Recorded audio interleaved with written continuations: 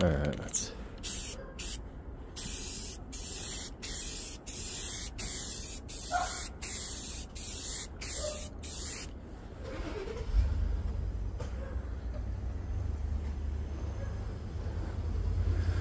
There's one coat. I'll just let it dry and I'll do this three more times or two more times.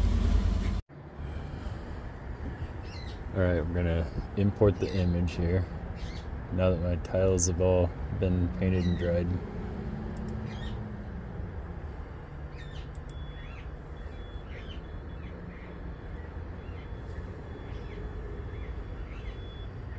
We're gonna go with that one. And I'm gonna adjust the DPI and stuff first before I fit it to the tile. So first we're gonna right click on it, adjust image. I'm gonna take my glasses off so I can see here. Okay, so the first thing I do is zoom in. Now you can see what it's supposed to look like, and it's all pixely. So I'm gonna move my mouse down here and just hover it over there and I'll use my mouse wheel to roll it up to increase the DPI until it snaps in place like that. So here we go, start increasing.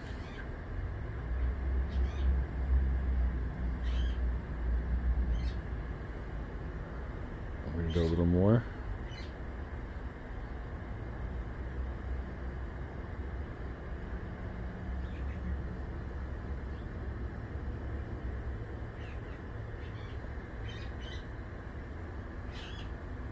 There we go, it just snapped into place. And that was at 341. So I'm gonna scroll it backwards just so you can see it when it snaps in. Let's see, I gotta highlight over it here. See that? You know you're at the right DPI when, boom, snaps in, done. Now what I like to do is I go to here, just click over here to go to 10, click over here to go to 100. And now they look really similar, so now I can zoom back out.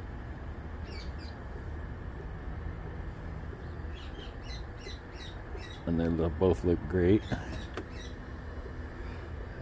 And I went from 512 pixels to 1823 by 1823. Okay, and I'm going to change this to Jarvis. And then make sure it's not on negative, so we're good there. Okay. Now I'm going to frame it. So I'm just going to kind of bring that down here. And I'll hold my laser before I forget.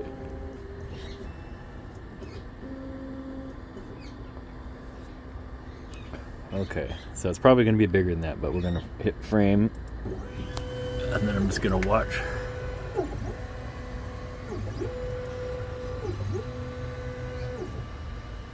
Okay, so now I know I can just kind of, it's hard to film this and do it.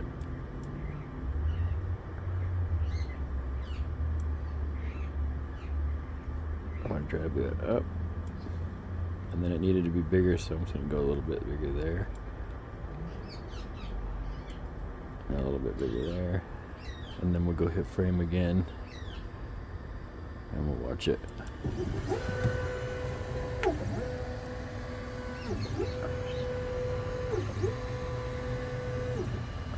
okay I'm going to do this a couple more times until it just goes around the edges and then I'll start it again, frame it and show you after that.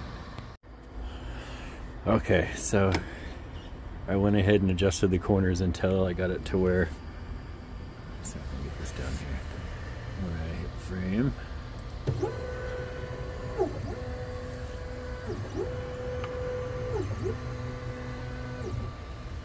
Just rides around the corner there.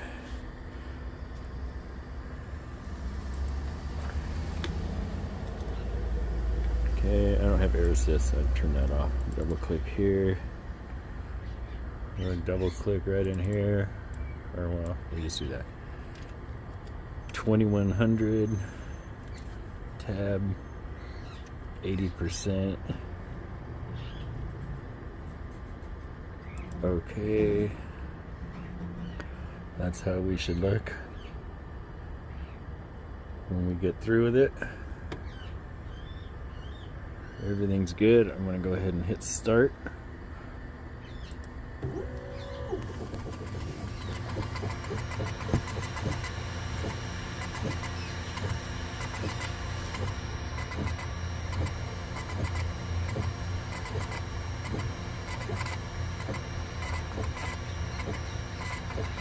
Okay, I'll check on it a couple more times and then I'll still like stitch this video together to make the whole thing look I don't want to wait out here in the cold. Okay, checking in again.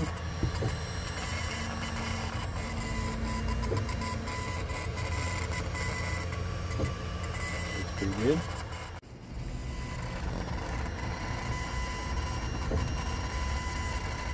Still turning out good.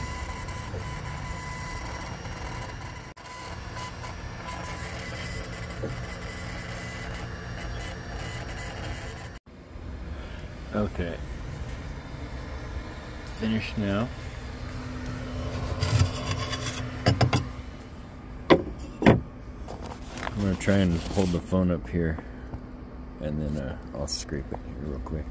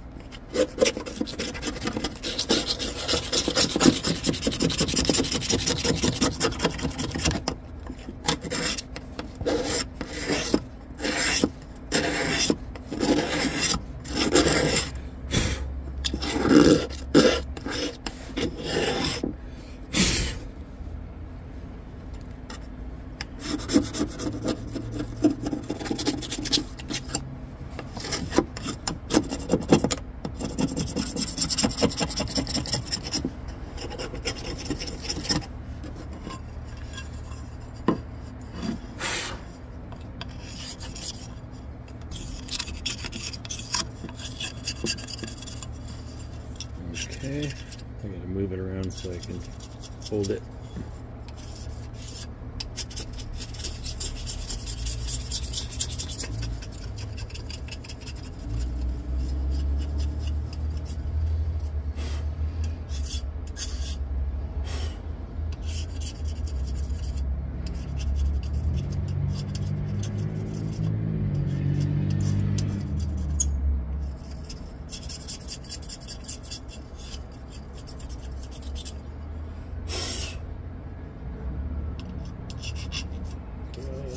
Second go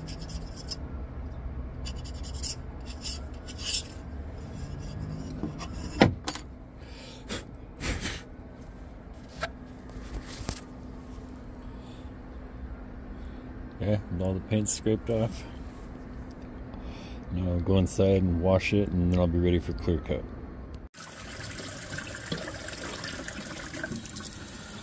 Okay.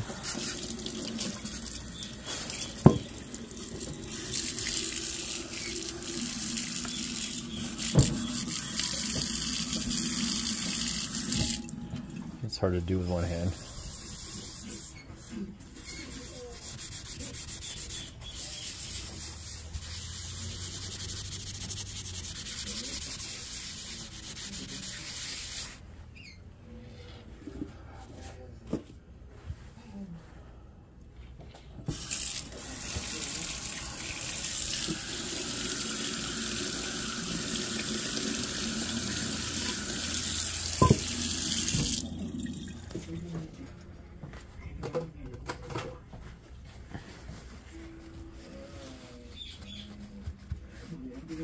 Just hang on.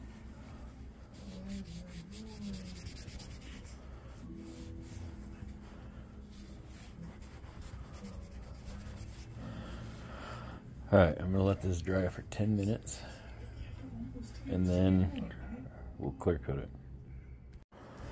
They didn't have any of the regular Rust-Oleum in the gloss at Lowe's, so I didn't want to uh, go somewhere else. So here we go.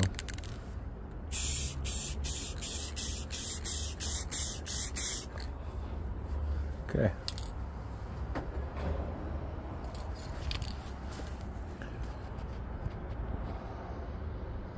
Oh, we'll let this dry for about 10 minutes and then let's check it out again.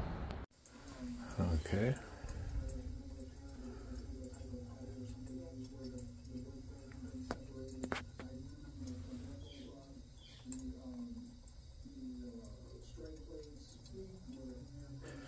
And that's how I do mine. It's pretty simple.